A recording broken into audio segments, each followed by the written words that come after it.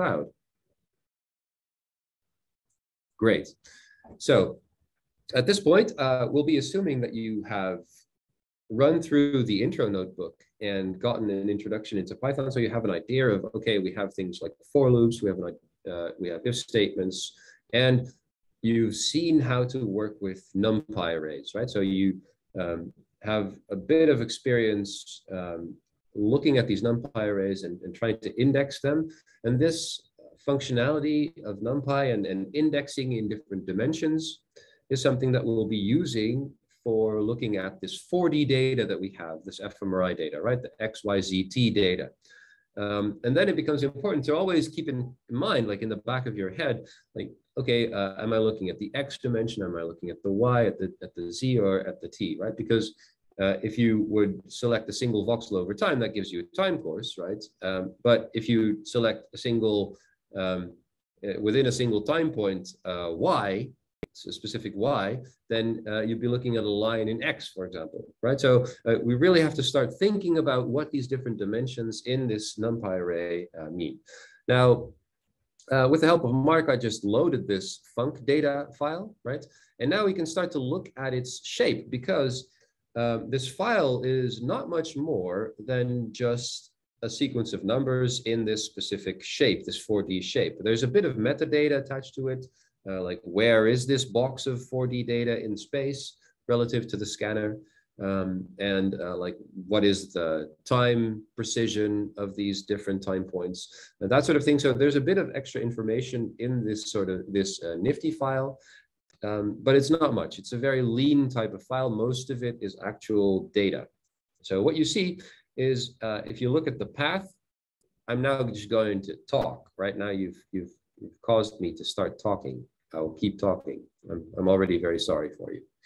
Um, so when you look at a NIfTI file, so NIfTI is the, the name of the file format. In essence, a NIfTI file is this, like the funcdata.nii. So that is the full uh, data already. But you can imagine that uh, if you have a brain inside this uh, 3D box of images and uh, or this 3D image, uh, and you have it over time, there's going to be a lot of zeros outside the brain. Yeah. So what that means is that a raw NIfTI file that saves a 4D uh, image has a lot of empty space in it. And that means that it will take up more room on your hard drive than you might want it to. And that's why the standard way of saving these things is to gzip them, that is to compress the file on the drive. And that will save you up to 80% of the size of the, uh, of the data. They really get very, very strong compression uh, on, uh, on the drive. So this also means that I could have unzipped this file and sent you funcdata.nii. Yes, it's a very sparse representation uh, in, this, in this original file. I could have sent you this funcdata.nii, and that would have created a much, much larger file. Yeah, so you can try this out. Uh, you can unzip it at home, right? So you can download the file and then unzip it. And you'll see that it becomes a lot better because of the space that all the zeros take when you do not compress this sparse representation. Yeah. Now it's not like an MP3 where you lose information, uh, right? So it's it's a lossless uh, compression, this gzip thing. Okay, so um, the data, uh, so sorry, the package that we use to uh, load the data is called nibabel, and um, that actually knows that much of this is gzipped, so it will actually be able to unzip it on the fly. And that means that we can immediately start looking at the shape of the data that we've just uh, loaded. I hope. Sometimes this takes a long time. Um, so I don't know if this is, so it can take the shape of the data from the header, that is the metadata attached to the data, or it can uh, load the data itself uh, and then look at, okay, what is this huge array in memory uh, now looking like? Like what's its shape? Here we have the shape of the data. And um, here you see the ordering of the of the dimensions also implicitly in the size. So these data were acquired uh, X, Y, Z, T. And uh, you can already infer which of these is X, which is Y, which is Z, and which is T if you know how uh, bolds fMRI data are usually acquired? Well, usually they're acquired slice by slice, and I'll, I'll, I'll talk about this much more in, in, in, subsequent lectures, but I'm just now going to try to give you a bit of background for this part of this tutorial. So usually um, we acquire images, 2D images, and we do so slice by slice. And the usual orientation of these slices, because of course you could orient them any which way you like, like sagittally, axially, or coronally. Um, but usually when people try to do a whole brain experiment, they will um, do axial slices. So that means that they acquire a slice and then the next slice and then the next slice and the next slice and the next slice. And we'll talk about this more in the pre-processing lecture. Uh, but you usually get a symmetric image in the slice. So that's 80 by 80 in this case, XY. And then there are 37 slices in this file. So that's the 3D image that we get, 80 by 80 by 37. And the Z is this direction.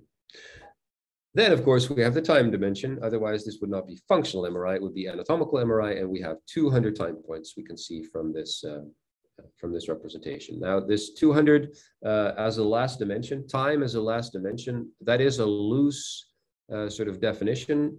You can usually assume that time will be the last dimension. Uh, and this also uh, holds for many of the SciPy algorithms that you might use uh, to analyze data or to, uh, to pre-process data. That usually it's the case that time is the final dimension in this type of representation. It's explained in more detail here.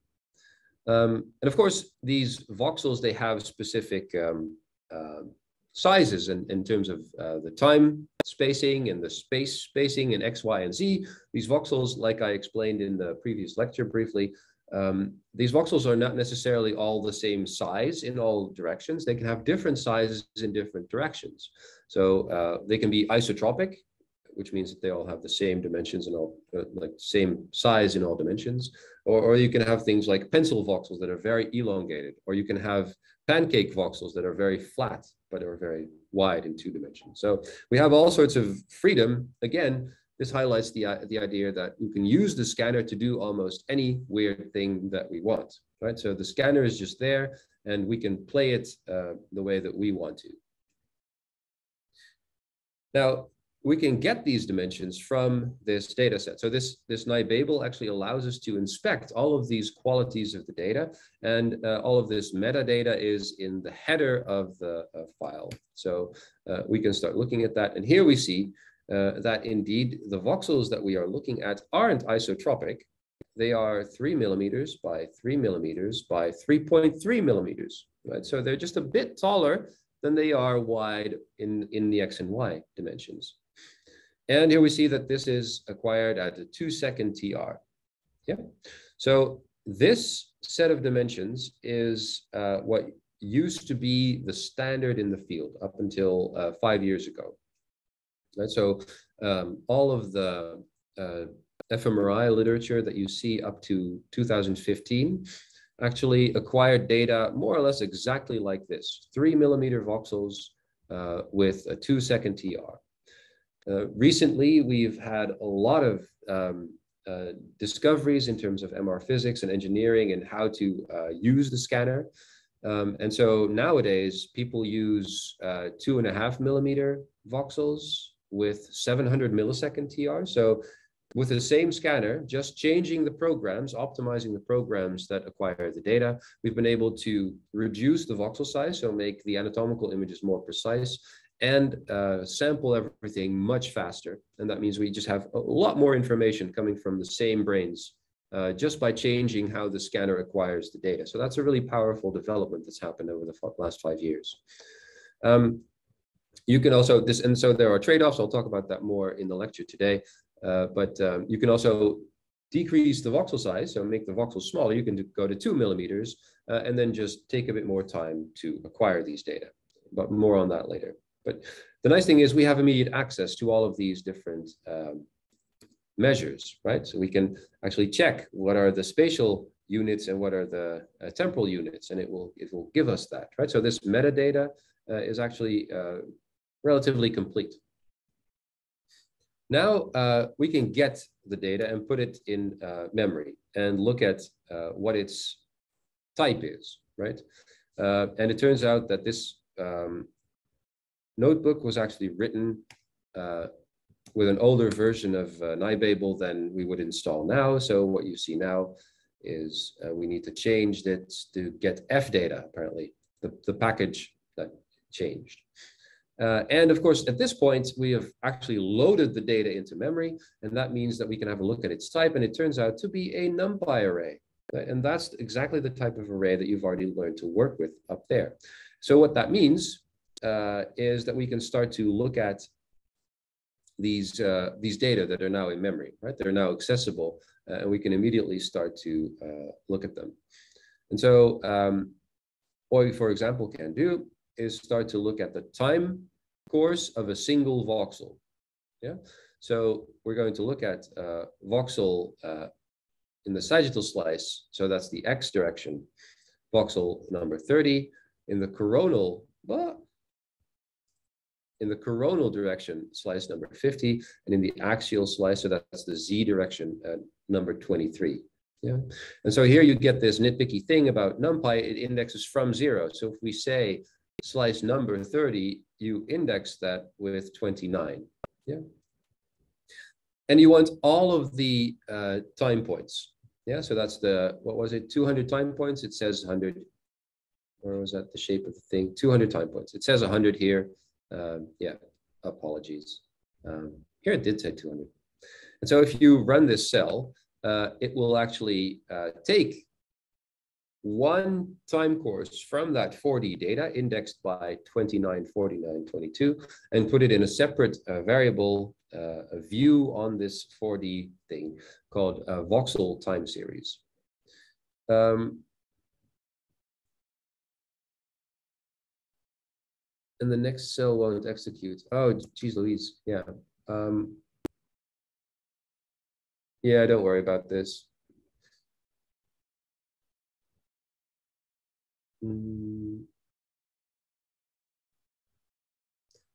Yeah, don't worry about this test.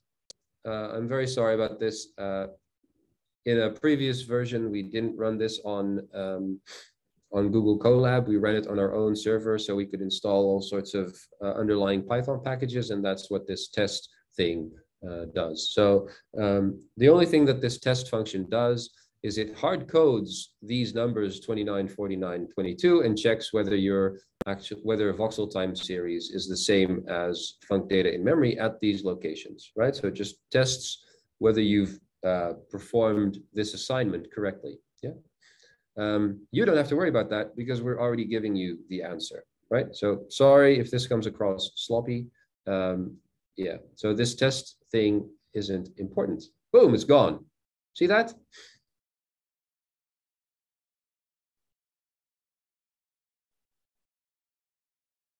Ah, yeah. So if you do this at home, then you clone the repo and that actually has these tests in it. Yeah. So it's the fact that we moved to Colab that um, breaks this test. But uh, don't worry about that. It's not graded. It doesn't go into your grade at all. Rest assured. And um, yeah, it doesn't um, change the. Um... Oh, yes, we can do a print, of course. So the values, yeah, so thanks, Mark, for keeping me on my toes. Um, we now have this um, cell here where we have this voxel time series, right? So now I can add a code segment to just look at this voxel time series. Like, hey, what what is this voxel time series that they uh, that we see? And again, uh, I think that's a that's a really good question that you have there, Mark. Um, what is these? What do these values mean? Have I imported um, matplotlib here? I have. That's beautiful. Um, so here's a plot of the time series. Now, there's a few things, uh, thanks again, Mark, uh, to uh, look at here. So we have 200 time points. Yeah. Um, so what are we looking at here? Well, we're looking at this time course of a single uh, voxel. Um, and you know that I, um, I may have uh, discussed this a bit. Like if you do uh, single cell electrophysiology, right? So you put an electrode in a brain and you carry, you, you record from a single cell. What you uh, see is, or what you hear or what you record are these single spikes, these single action potentials that are being fired by that single cell. So those numbers that you get that are your data are like spikes per second. That's an actual uh, SI unit, right? That's rate of firing. So that means something, those numbers. But the problem with fMRI is that the numbers that we get from the uh, scanner, in most cases, don't mean anything. They are just an image, and the image is arbitrarily scaled. So the values you cannot, you know, you you you can do specific MRI to get values that make sense, but you cannot assume that the values that you get out, that are your images, uh, that they make sense. And so what this means is that this value of 9,500 or something it is, that is the average of this uh, voxels time course, it has no physical meaning. Yeah, so we cannot uh, derive anything from this, uh, from this measurement uh, other than analyzing the shape of the time course. And that's what you see here. That shape of the time course is uh, is what we uh, can analyze, right? So you should definitely see uh, activations going up here, down here, up here, down here, right? And that might have something to do with what the brain is doing at this location. Yeah, so that's the thing that we're going to be uh, analyzing. So um, there's a bunch of numbers around 9,500 and they go up and down, right? And uh, it becomes interesting this time course when we start to try to relate it to what happened in an experiment. But we're not there yet, right? We're going to do that in the GLM practical. Uh, for now, uh, we're just going to look at these other dimensions in the data, right? So this whole, uh, the data, I have no unit as a side note. So we can also uh, take a specific slice um, from the data. Yeah, so again, taking that 4D data and not specifying a specific voxel with three numbers and looking at the time domain, what we can do is we can look at a specific time point, zero in this case, right? So we just get an anatomical image. Then we look at a specific axial slice in the z direction, right? So that's the axial plane. We get a cut through here, yeah, like so, hmm, like this. And uh, we take all of the x values and all of the y values, right? And so we can print that slice it has a lot of zeros in the corners, right? So that's what NumPy will uh, print here. Uh, but you can also just look at the shape of this slice one, uh, and you'll see that it is 80 by 80 pixels in this case, right? So the voxels become pixels because we're only looking at a single slice, it becomes a picture element. Now that thing that's sliced through the brain, of course, we're looking at an anatomical image that's relatively coarse, and we can have a look at what that looks like. And this is what it looks like. Yeah. So you see someone's brain, and this is a T2 star image, which means that the white matter is dark, the gray matter is light, and the lightest of all uh, is the CSF in the ventricles. So CSF stands for cerebrospinal fluid. Yeah, and um, if the operator at the scanner did their jobs correctly, uh, this would be in the middle of the image. If they didn't do their job correctly, it might be somewhere in a corner. So uh, one of the things that you do at the scanner is that you place a box around someone's head in a specific way. Uh, if you do it well, the brain is nicely square in the middle of the box, but if you do it wrong, it can be even outside the box, in which case you're scanning for nothing. And that has happened a lot in the past. It has happened to me. I have spent long sessions in the scanner without acquiring any actual data in this way. So if we want to select a specific uh, uh, voxel, we can do so uh, from a specific location, right? So uh, if we want to uh, look at these couple of voxels, uh, we can take a slice from this slice. So, so we have a slice here, we can index from 35 to 41 and from 35 to 41. Yeah. So we can print that, and these are the numbers in there. Yeah. So you see that it's we're selecting data from a white patch, and that has values up to almost 20,000. Right? So that's white because these are very high values. Whereas the voxel that we selected before uh, was apparently in the gray matter, and it had a value much lower. Yeah, it's about half of the white that was likely in gray matter. Is all of this clear? Ha, Oleg, very good question. How do we make sense of this, right? So um, as a general note, in a large parts of this course, I will just uh, be, um, um, you know, uh, popping the balloons of your dreams. So um, I will be, um, you know, showing you a lot of realistic stuff that may not be what you would hoped. So um, a lot of this GLM analysis uh, is our way of uh, distilling these arbitrary values into something meaningful. And the, the basic uh, thought behind that is that we will always have to um, find what part of the time courses uh, that we're analyzing is signal in that we can model it, and what parts of the uh, time courses is noise. And this relation between the signal and the noise is crucial. Uh, so uh, something meaningful will become clear as you do the GLM uh, analysis, and I will highlight it later in today's lecture and uh, Friday's lecture. Um, but something meaningful doesn't relate to something like an SI unit, like meters per second, or uh, you know moles of deoxy versus oxygenated hemoglobin, or anything like that. There is no unit uh, to what we will be analyzing. Uh, things very quickly become statistical. Ah, so Mark's question is also very good. So if we see some activity we're interested in, how do we find the exact location to extract them? Well, um, that will also become a bit clearer in the GLM um, uh, notebook. But as we perform these analyses, we will get statistical values. Um, and so th those will designate whether a voxel uh, responds to one of our experimental conditions, so to say. And so what you end up doing is you can then say, oh, I have a t statistic value uh, for across the entire brain. And now I want to take those uh, voxels that have a t statistic greater than, let's say, the value of five. Okay? So you can actually select from the brain uh, those voxels that have a t statistic greater than five, right? And we've done binary selection in the NumPy part of this tutorial, right? Um, so you can uh, do that in some analysis, right? Um, and then use those voxels for some other analysis. Yeah, I'll go into that logic uh, later on. Yeah. Um, yeah, so the graph I plotted contains a mixture of signal and noise, but we are not going to get into that uh, in this notebook specifically. Um, what is the calculation to get the real dimension of the brain or a voxel in cubic millimeters?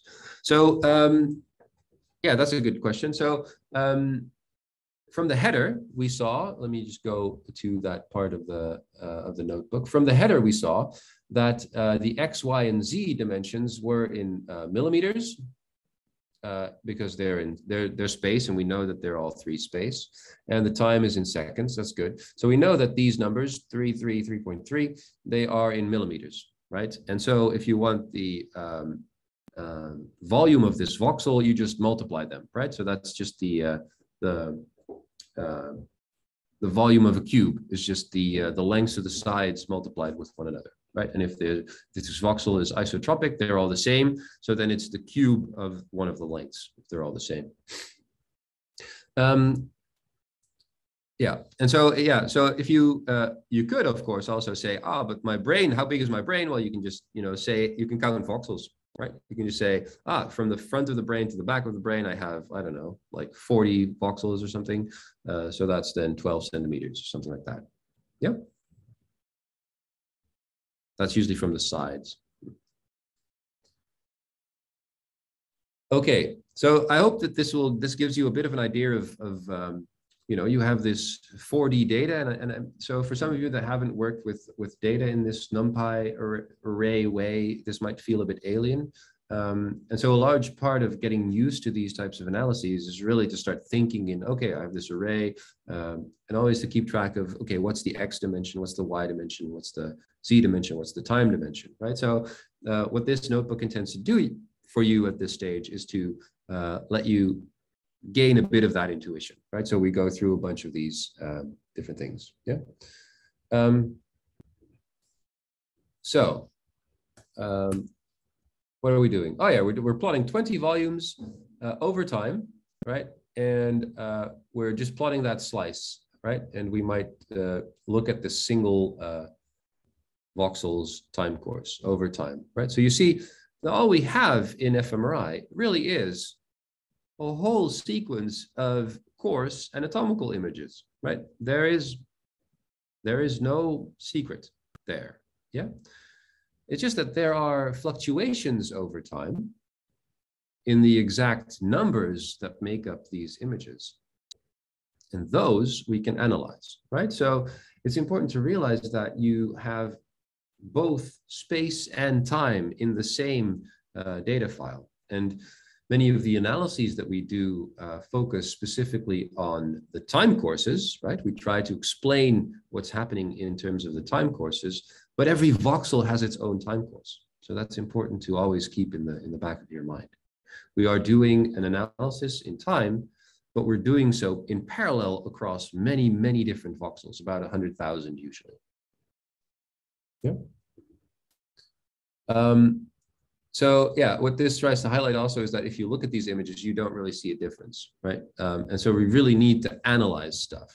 And um, the actual signals that we're interested in are usually relatively small in terms of their, um, um yeah, their strength, right? So we don't uh, see a really like a white blotch appearing here when there's activity. Uh, this is usually in the range of between yeah, it says one to three. That's at three Tesla. So uh, to seven at seven Tesla, it can go to like 15. Um, so you get stronger signals if you have a stronger scanner. Um, but we really need to um, uh, analyze this in, for, in order for us to see it. Um, also, uh, this is, we were talking about uh, reasonable uh, signals before, right? So reasonable um, um, uh, values.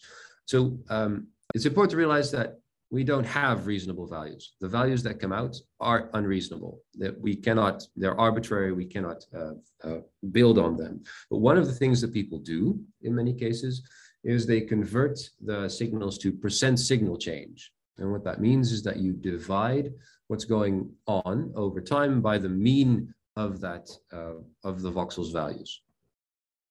Um, and then multiply it by 100, but you divide it by the mean. That is, so what that gives you is not an arbitrary number anymore. It becomes a bit less arbitrary. It is the change of the signal relative to the strength of the image, right? The strength that the image had uh, beforehand.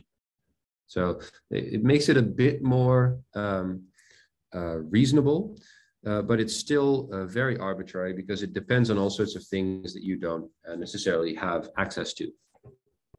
But this uh, this percent signal change is something that people uh, do. Um, it's important to realize that you cannot, for example, uh, compare these values across scanners necessarily. Same for percent signal change, but it's a bit closer. So it, you can, it starts to become, uh, the, the, the numbers are going to be more or less in the same range when you do so. So if you divide it by the mean, how is it uh, changed um, the change uh, beforehand. But what is what does it change? Uh, so uh, let me see if I can parse uh, what you're saying. So uh, what does it mean for this to be a? Um, so let me just percent signal change this voxel, and I, uh, so then you'll see the what this is, right? What this conversion does. Does that make sense? Yeah, sure. So, uh, so here we have a raw voxel time series, and I can also plot its, um, its percent signal change version. Right? Because NumPy is really cool, right? We can just say dot mean of an array, and it will give us the mean value, right? So, um, and of course, when I just take the ratio, it's going to be a very small number, so I multiply it by 100. Now, if I do that, you see that Mm, what am I doing here? Yes. Oh, wait.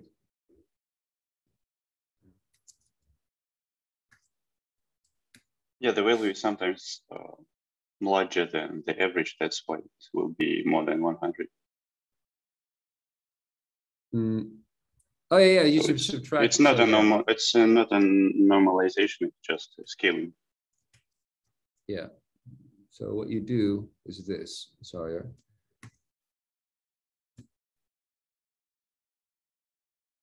And does this make sense? Da, da, da. Yeah, so you subtract the mean, right? Which means uh, that now the mean is zero, and then you scale it by the uh, mean. And now it's around zero, and its units are percent signal change, right? So they are uh, divided by the value of the average anatomical image. Yeah.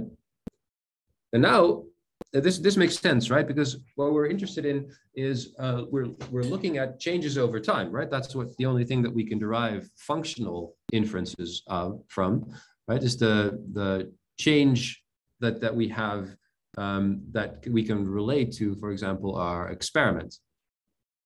And so this makes sense because now uh, our mean value is at zero, right? So no activation means is is a value of zero and not some arbitrary number, right? And because it's um, uh, divided by this, you know, anatomical image, um, we actually have an idea of how much of the change was, right? It's not necessarily a fully arbitrary number.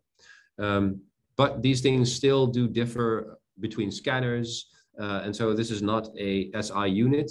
So you cannot really conclude anything from percent signal change. Yeah, but people do use it. Is that clear?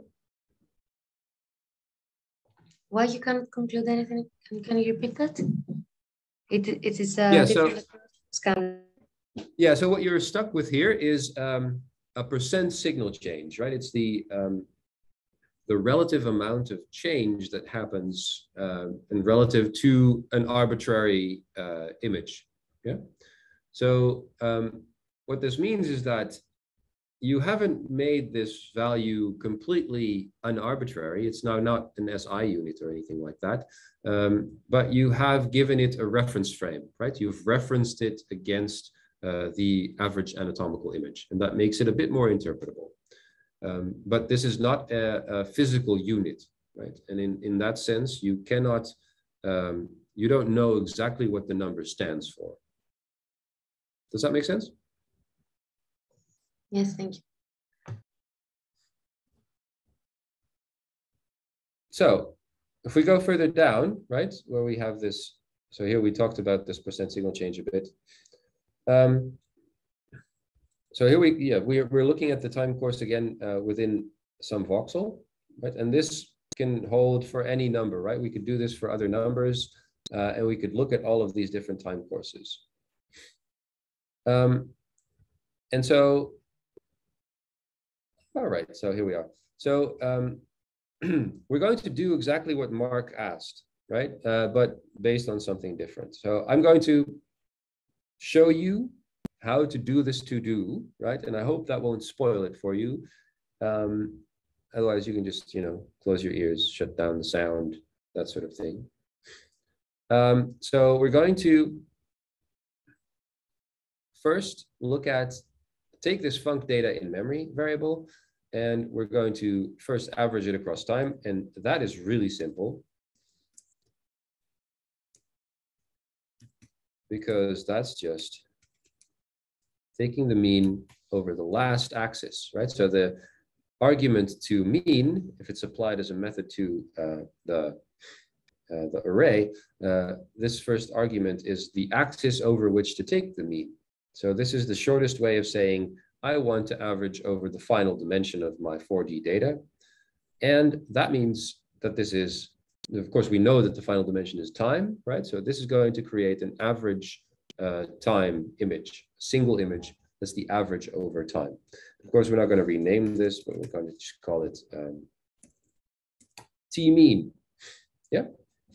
So that's our um, mean over time. So this, and we can check this, right, by just uh, looking at what the shape of this uh, data is. And you see that it is X, Y, Z dimensions. So this makes sense, right?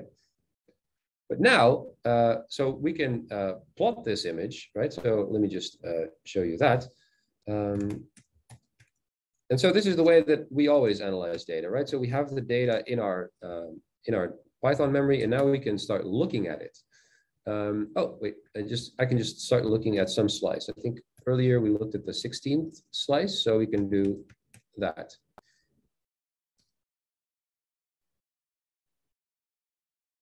Uh, we're putting a minus one in the mean function, uh, because we're interested in the average over time, right? And we know that the, the uh, dimensions of the array stand for x, y, z, t. Then that means that we want to tell the mean function to average not over the entire array, right? If I were to uh, do this, yes, oh, sorry, yeah, minus one is the, yeah. So if I do this, for example, it will not know which axis to do, so it will do everything. And what that means, if I print it out, it is a single number, which is the average of the entire brain plus all the zeros around it. Yeah. So yeah, methods, boom. Mark, I am so glad that I taught you a little thing. Um, so we now have this number, uh, or so, sorry, this, um, um, yeah. Uh, now we want to find where is this zero, right? So, uh, geez?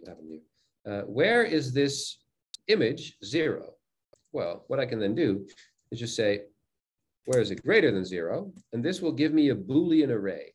Yeah, so uh, that is to say, I'm going to, where is my brain? Is this. Now, what does this mean? Let me show. So I'm just going to do what I always do, right? Which is um, just a bit of uh, one row, two columns, and it has a figure size that is now going to be 20 by 8, something like that. This means gives me a figure and axes to work with. So now I can do, I can plot the actual data in the first subplot. And in the second, I can plot my, where's my brain variable, right? So to explain what I just wrote, I did a check, where is the brain? As in, where is this average image in 3D? Where is it larger than zero, right? And because this says uh, remove voxels that are zero, I can use this type of statement, right? So the result of this statement will be um, zeros and ones, zeros where the zeros were and ones where there was brain, right? Where, there, where the value of the average image was not zero. Now then I start a figure, that's not important, uh, but I have two sub figures that I can then plot something in, and I'm going to plot the original image in one, and I'm going to plot the Boolean mask that I just created with this statement in the other, right? So here we go. What does this look like? Well, this, um, maybe I should make this gray because, you know, we are used to looking at gray things, not in viridis. So here you see what we are doing. Yeah, so in essence, we are selecting every voxel here that is not zero. Yeah, is that logic clear? Potato, yes, it looks like a potato. Um, yes, well, many things, when you binarize them, start looking like potatoes, or like um, so now that we have this out of the way, we can start doing what this thing wants us. We can start to um, ask, what is a histogram of all the resulting non-zero voxels? Well, then, so I don't know if you remember this from the thing at the top, um, but um, we can actually now use this Boolean mask. Oh, geez, what did I just do? Um, we can now use this Boolean mask to plot things. So I can now ask a third subplot uh, for a histogram. And what I now am going to plot are the values that I find in the brain, but only those values that are inside this mask. Right? So I'm going to use this Boolean mask that I've just created by this greater than statement to index this image. And this is awesome. Like if you I can just ask func data in memory, where is in where is my brain? And it will do so. Yeah. And I'm, I'm going to have a lot of voxels in here. And the standard is to have 10 bins. I don't like that. We want to have more bins, right? Um, but uh, yeah, this will work. I hope. there's always errors that you end up with. But yeah, here we have the values inside that uh, thing. Um, and, you know, I hate having to do this, but. So here we have the original brain sliced through it, right? Um, the mask that we use to select values, and then the values that we found inside that brain mask. Um, and you see that there are still a lot that are very close to zero, right? Because if you're very close to the edge of the brain, uh, you'll pick up some signal, but not much. So the value is maybe going to be one, right? Out of an average of 2,500 or something. So it's a very small value. And you see that there's a lot of that here. So those are like the stuff that's like your ears, for example, they won't really show up that well, uh, but you will have some signals, so you get a lot of stuff there. Um, so you could put a threshold here somewhere greater than a 5,000, for example. You could do that. Yeah, let's try that. Let's make a different threshold. This is not, you know, part of this exercise, but whatever. We can do 200.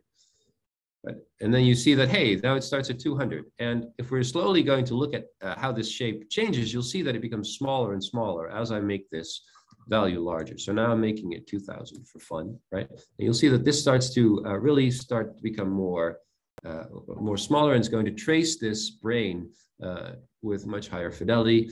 And, you know, I'm, I'm cutting off this um, thing here. So um, I can also tell it to keep have a, let me just set the x limit to zero, comma, what is it?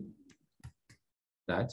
And now you see that we're, we're actually, you know, we're actually cutting off this part of the histogram by changing this value here. Any questions about this, what I'm doing? I'm just trying to make this a bit insightful. And, um, and for me, always the way to start to understand the structure of a data set is to really just play around with it in this sense. Yeah. But we can do other things. Uh, so um, I'm thinking I still have about half an hour to entertain you with this notebook, and I'm gonna, you know, take my chances here. How do you feel about that? Because I'm gonna do something different here. I'm going to look at those voxels that oh yeah we'll do the we'll do the glm i'll uh i'll go to the glm in a bit okay? So um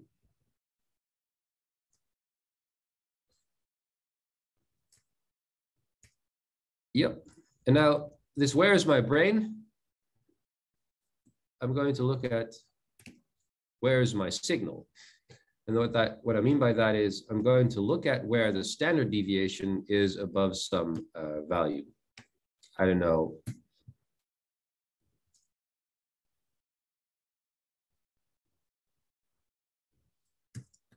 Let's see what happens. So what I'm doing now is I'm making an image of where the signal changes a lot. So you see that there's uh, nothing much happening in the white matter, right? So these are low values, and there is a lot happening in the gray matter. And that makes sense. We're looking at a blood response, right? So the changes over time are going to be in the gray matter and not in the white matter. And that's really something that you see very clearly uh, from this uh, image. You also see that, uh, well, outside of the brain, you expect very little variation. You don't get much variation. And that means that the mask actually looks more or less the same. Um,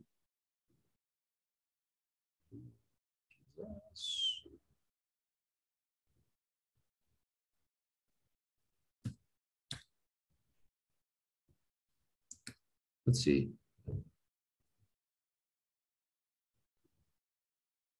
Oh, wait.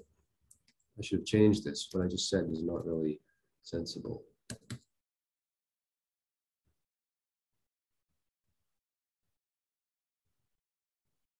Ah, so you see the single voxel here uh, that has a very high standard deviation. It's very, so to the back of the head here.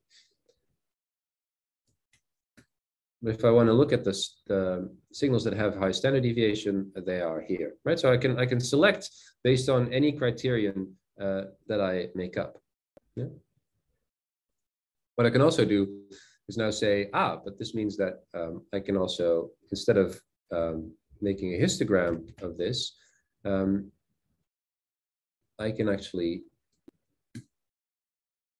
take all of the voxels where I now think I have signal, right? So this, if I Boolean index this, the full data, I get time courses for all of the voxels where my signal is, and that I can average. And if I average that over the zeroth axis, that's the voxels, and I have a time course, right? So now I, I can actually plot the time course of the voxels.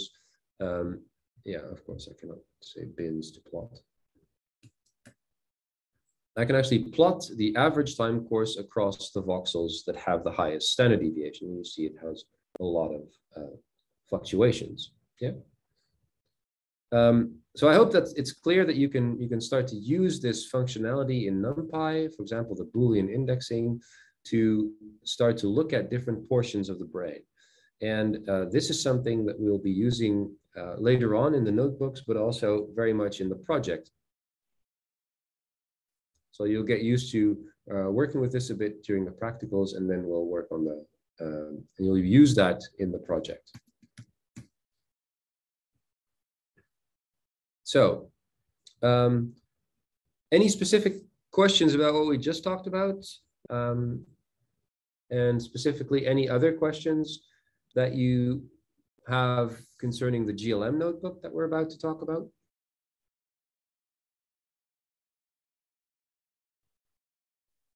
I have more question about um, uh, more technical. Well, I don't really get how Colab works, but I can also ask that after the lecture. Yes. Um, yeah, of course. Um, well, maybe this is a good background uh, thing to uh, to talk about a bit um, because it is important to realize uh, what we're doing, right? So um, yeah, I don't really know um, like is this stored on my computer or how do I access it? Because at the beginning of the notebook, it says uh, I need to authenticate it with Google. And then I just, yeah, I didn't really know what happens there or where the pathways go. So I'm like, hmm. yeah, yeah, yeah. Oh, no, this is a very good question. Um, so, uh, and it's, it's always, um, you know, uh, with the amounts of data that we're working with in general, um, a lot of uh, you know, it, it helps to be geeky, uh, but uh, what that means, I think, in general, is to just uh, it's valuable to know what your computer is doing, right? In um, um, and and so let's get let's get to the to the bottom of that, right? So when you uh, run Python, right, you can uh, Python is just a program. It's an executable program that you can run on any computer, right? So you can run it on your laptop, right? Uh, and uh, you can run it on your phone, Right? And what that means is you just say Python, and then it just starts waiting for commands, right? And then you can give it commands, and you know, uh, then that's also how you run an experiment, right? It's uh, there's a Python executable inside Open Sesame, for example. I'm assuming that you've worked with that, um, and so that will then do all sorts of stuff that, for example, will run your experiments. Um, does that ring true? Uh, yeah, so far I get it. Yeah, great. So this Python executable can run anywhere. And that's important to realize because um, uh, if you run it on your, let's say you run it on your laptop. So one way of doing that is to like, if it's embedded in uh, Open Sesame, um, or another way is to just run it in a terminal window, in which case Python will just be asking you, like, tell me your commands, and you can say like, oh yeah, i is three, and then i will have the value of three, and, and so forth and so forth, right? That's the, the programming part. Um, but what you can also do is uh, run Python from a notebook, in which case it's not Open Sesame that's running the commands in Python, or and it's not you doing it by hand, but there's this layer in between, uh, which is the notebook interface, uh, which makes it easy to do things like uh, separate explanations text from the actual commands, right? And um, then you, you execute these cells. And so what happens is that the Python code in these cells just gets uh, piped to the Python executable and it runs these things. Yeah, so what that means is that at that point, the Python executable can have things in memory uh, and so forth and so forth. And so the, the notebook gives you a direct link uh, between what you see in that browser window and what's happening with this uh, Python executable in the background. Still clear? Uh, yeah, like my question is more about because um, so this Colab notebook, it's mm -hmm. not stored on my computer, is it? It's like yes. So yeah, so next point, yeah, let me get to the next step. You'll you'll uh, you'll get your answer. Um, so this Python executable being, um, you know, in principle, it doesn't matter where it is, right? It can be on your phone. It can be like Google can also run it for you. Yeah. And so Google can just then render a notebook interface that you go to with your browser. And then all of the commands that you give in that notebook, they're actually executed by a Python executable that's on a Google server somewhere. And that's the situation that's uh, that you're working with. So, so that is Colab.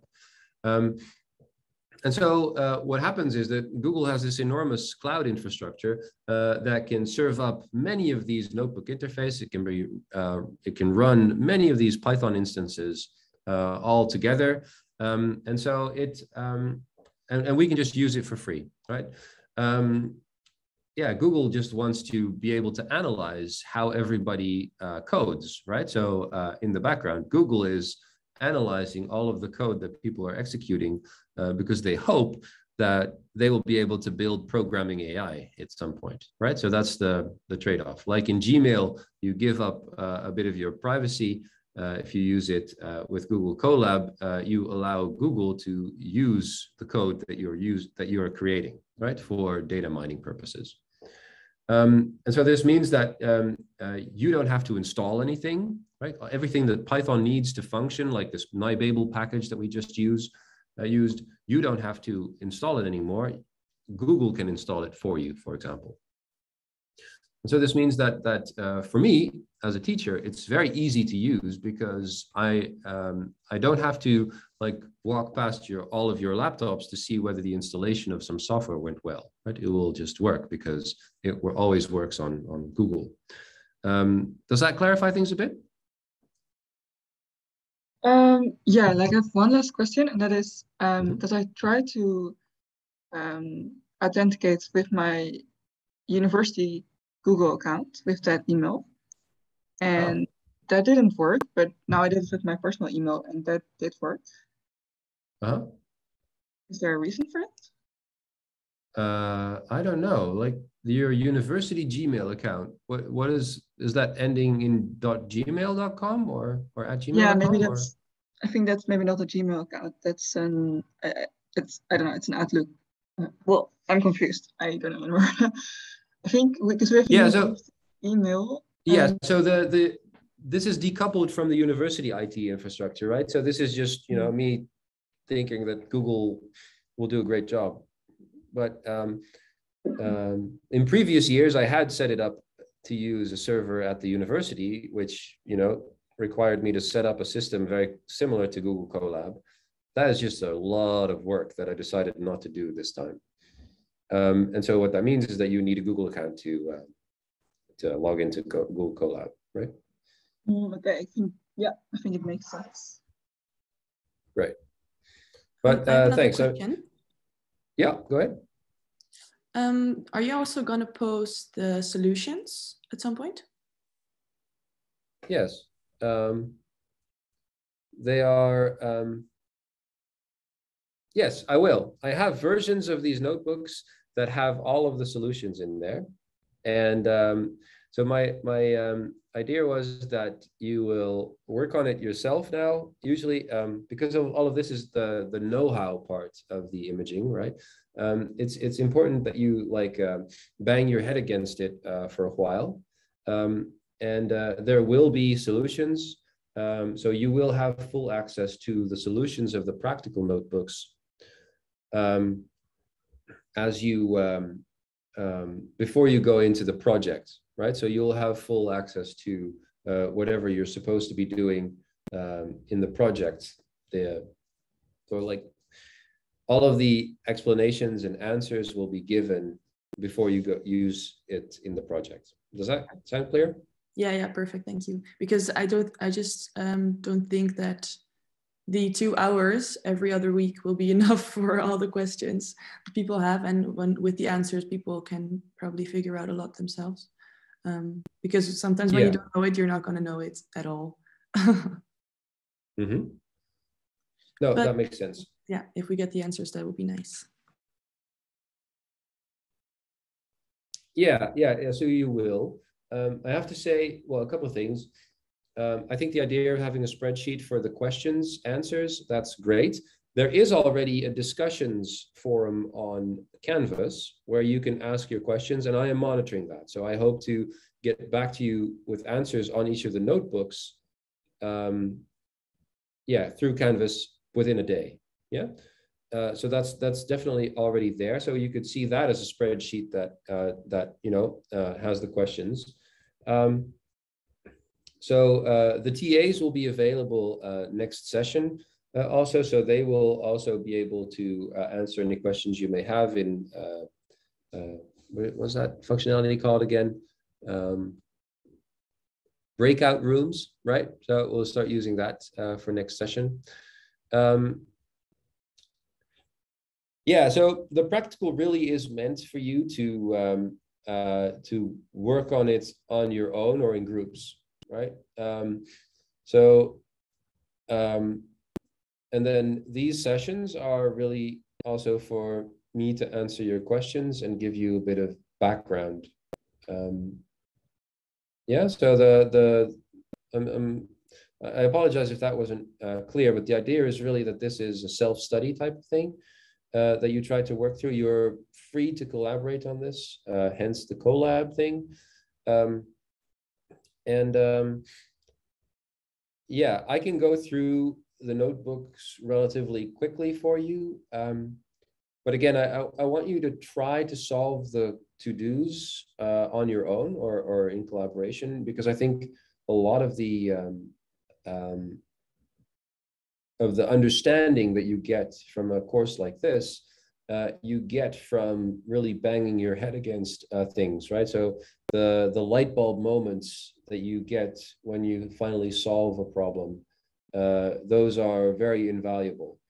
Um, and so that's what I'm uh, hoping that you can experience during these practicals. Does Did that you- give you a bit of background? Do you have time to maybe help with uh, the second to do of the GLM? Because I've been staring at it for like the past half an hour, but I can't uh, figure it out. Yeah, of course, of course. Um, let's see, I have another question from Nina here. Um, uh, R squared, do linear regression. Um, so I'll I'll first go through that a bit, but then uh, I'll get to your point. Um,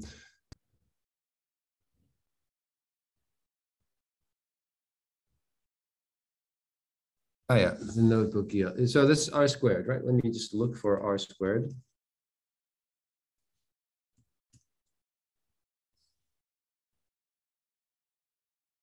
Yeah, that's all nice. Um,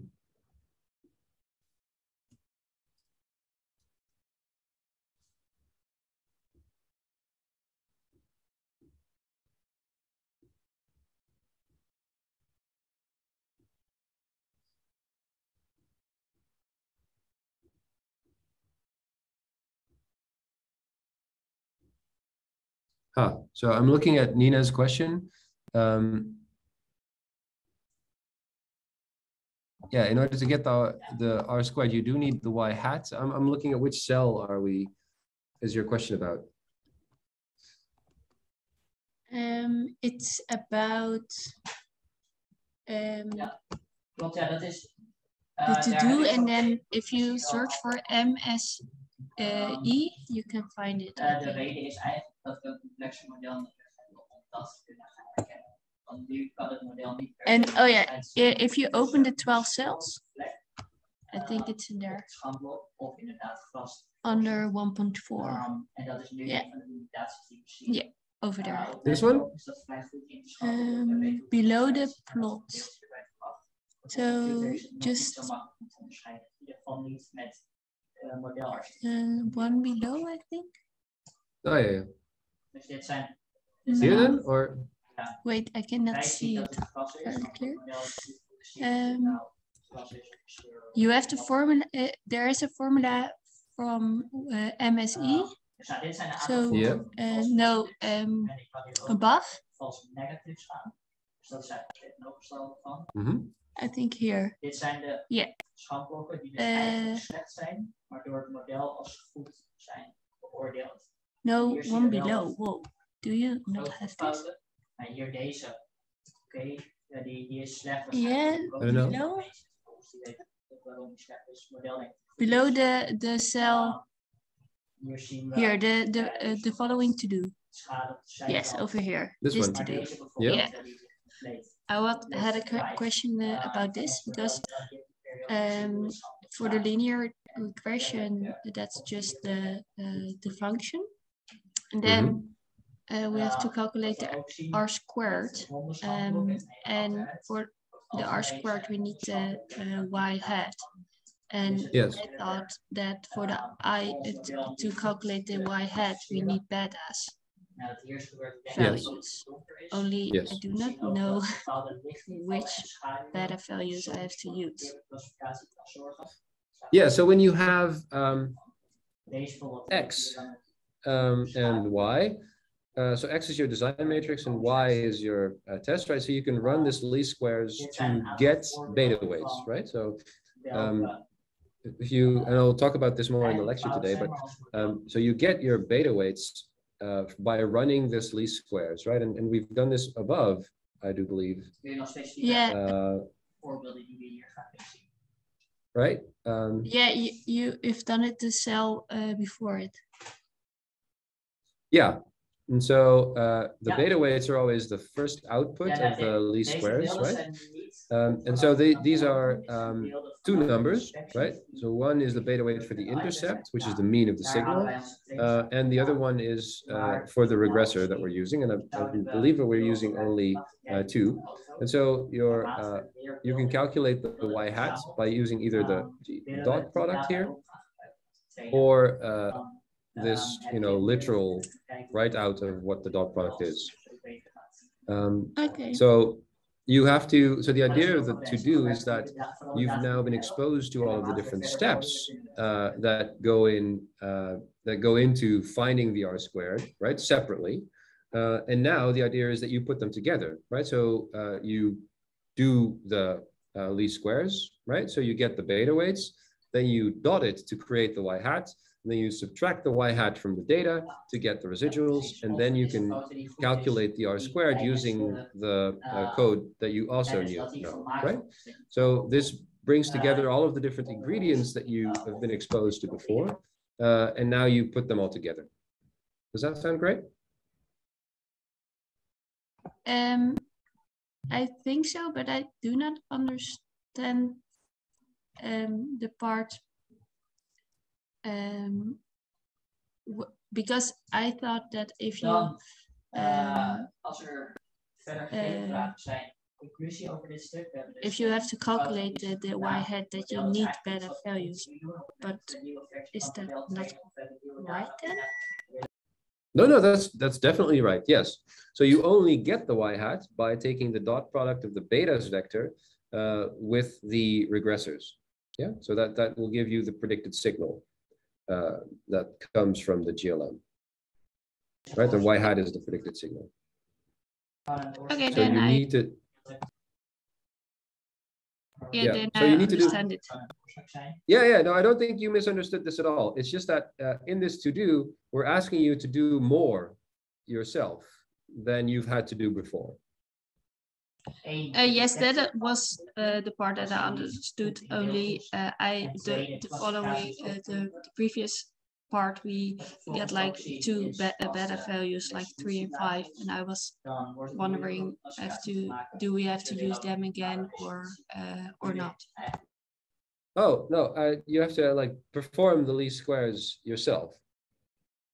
Yeah, Yeah, I understand it. Yeah, right so don't use the ones that are given, but do it yourself because here you're loading new data. So you actually have to like analyze those new data um, independently. Yeah. Okay, thank you. Cool.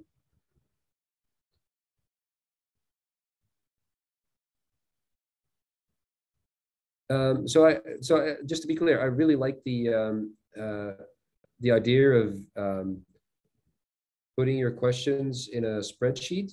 Um, but I have to, I have to try to point you to, um, the fact that we have uh, discussions set up for these, for exactly this person, um, for, for this purpose. Um, and so you can ask a question here, like I am answering right now.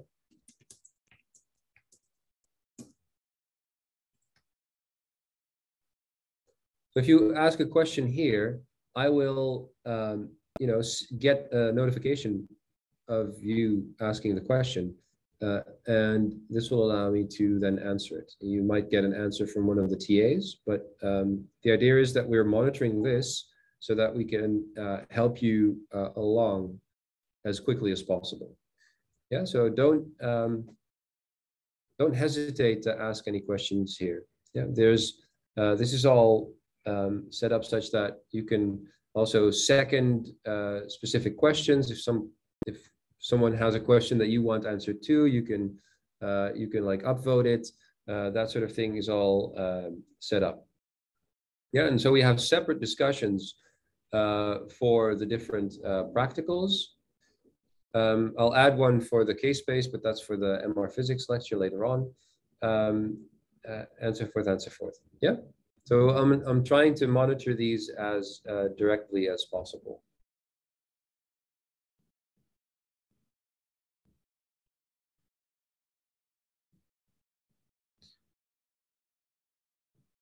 So the idea for the GLM notebook, um, so I'm, I'm not going to have the opportunity to run through this uh, now. If you need me to really run through this, um, what I can do is um, record myself running through this notebook.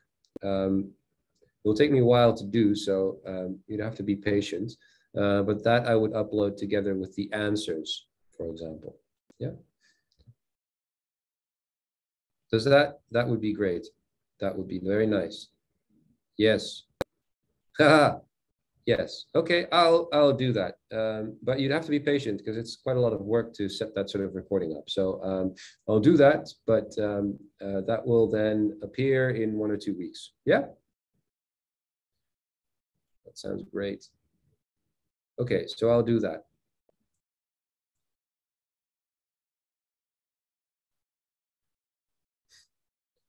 So what I what our uh, goal is for this um, uh, for this GLM practical, and I'm hoping that I'll be able to clarify at least the concepts a bit more over and above what's already stated in the YouTube videos, um, is that what we're really trying to do is we're, we're modeling our data, right? And, and those parts of the signals, our data that we are explaining by virtue of the modeling effort, uh, those are signal, right? any, any data that you can account for, that you can understand, uh, that you can model is signal, whereas any part that you cannot explain is always part of this error term, and that's noise. and so um, analyzing uh, fMRI data like this is a battle of trying to make a model that's as good as you can to explain the time courses of these voxels. And the, so the, the general idea is really that you're fighting the, the unexplained variation, the noise in your data. Um, and you want your data, of course, to be high quality so that isn't so noisy so that you can explain more of the signal. Um, so that's one part of it, the, the data quality. Uh, we talked about this in one of the previous uh, lectures, right? There was a question about SNR. Um, so you want to have a lot of signal because that's the part that you can explain. And that's what you're stuck with once you've done the, the, uh, the data acquisition. But then the, the, after you've acquired the data, then um, the, the thing becomes that you want to explain as much of the data as possible. And that is in the analysis. Yeah. And so what I hope to uh, show you is that um, with this backbone of the GLM analysis that allows to, um, you know, really say this is what we explain, this is what we don't explain. Uh, we can uh, we have a bunch of different choices uh, on the strategies that we take to to explain the signals that we're interested in. So I hope that um, I'll see you at the lecture this afternoon. Um, and we'll uh, we'll go a bit more deeply into uh, why we use the GLM, uh, what the different choices are that we can make in terms of the data analysis when we use the GLM, um, and also highlight a bit of why why we need to do uh, GLM analysis. And so together with this first practical, this week two practical on the GLM, uh, and the YouTube videos that you've watched up until now, I hope that this lecture will give you a bit of a framework to understand uh, what this basic fMRI analysis is all about. Um, so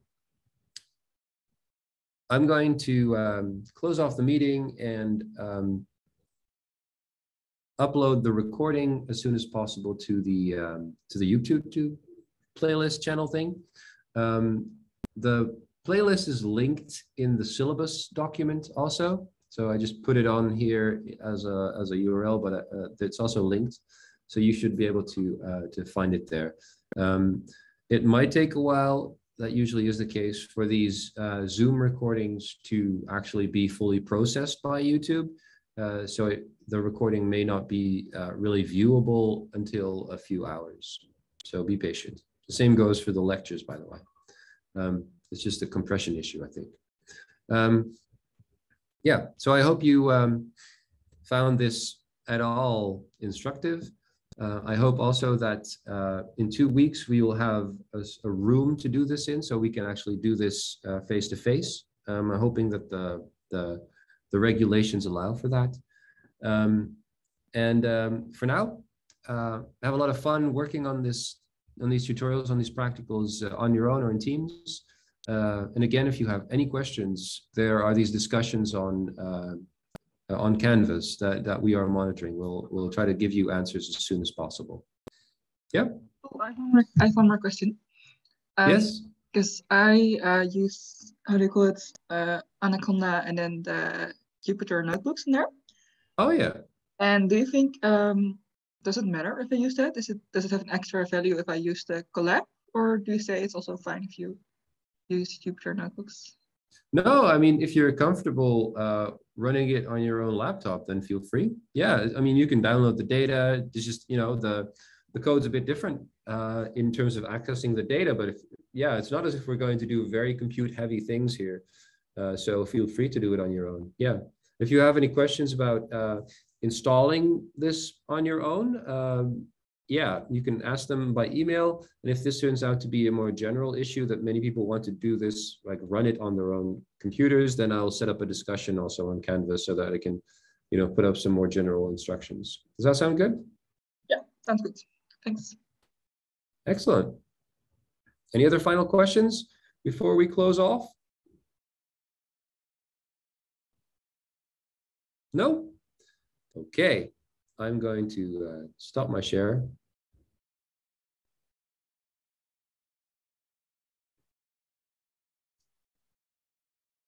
Ha. Yes, Rick, that's an excellent question. Um, so you get multiple beta values from least squares if you have multiple predictors. Um, yeah, maybe if you ask this question in the discussions, um, I can get into it more deeply.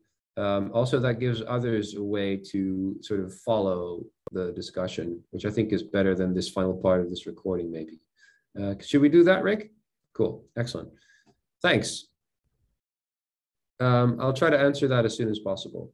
Um, and uh, I'll see you all this afternoon, I hope, which can be in person, right? So if you feel like, uh, you know, stepping out of the door for once, then um, feel free to join me. Bye bye.